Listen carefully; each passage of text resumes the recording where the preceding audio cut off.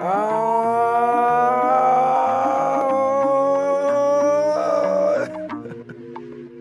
I was barely 17 with a pocket full of hope, screaming dollar in a dream with my closet looking broke and my.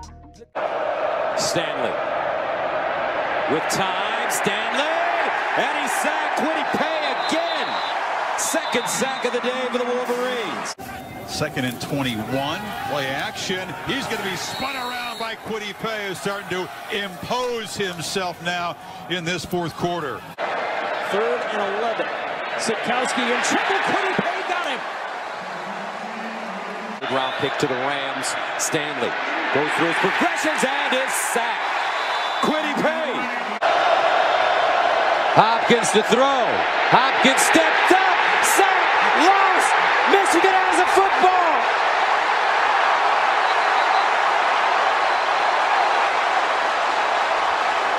And the Wolverines survive. Kwity Paye.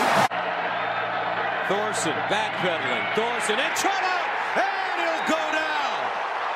Kwity Paye. Muna. That's a big time game there. Oh boy, is this going to be back to back to back sacks for this Michigan defense? Kwity Paye was in there. Thorson scrambling.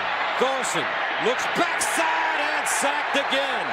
Fifth sack of the game for the Wolverines. This time it's Kwity Paye. Down, snap to Coan, quarterback draw. And unlike John Stocco in 2005, this one didn't work as he got stuck. Looking at you, Matt, when I said that third and 25, and the blacks are going nowhere. There, three catches for 75 yards. Stevie Scott fumble, and Michigan has the ball. Second turnover of the. And they'll run it. Wildcat formation. Hayward, and he's dropped for a loss. And uh, they went over Peyton Manning's Tennessee Volunteers. The blowout was the victory. Warnybrook had to backpedal it. intercepted. Watch him be able to feel this. Sees the back come out, and right there, he puts his right hand. More of a factor. The fact is, is they just haven't been able to beat Ohio State, and that's what you got to do here. Became a dumpster fire though. Yeah, now Michigan really smelling blood, and McSorley back in there running for his life and run down from behind by Kwity Paye.